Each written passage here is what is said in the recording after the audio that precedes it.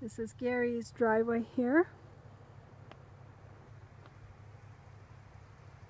They haven't done anything over that area yet where the cabin is. Now we're panning north of the cabin. And this is what it's looking. I'm standing on the road. And this is how it's looking.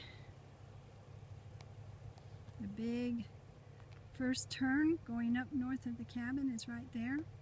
You can see it's almost park-like back in here where they've limbed up the trees and taken out a lot of trees. Where we're sitting there didn't used to be anyway. That was just a little knoll right there where the truck is sitting that didn't have much in the way of trees, but then it was a solid wall of trees like this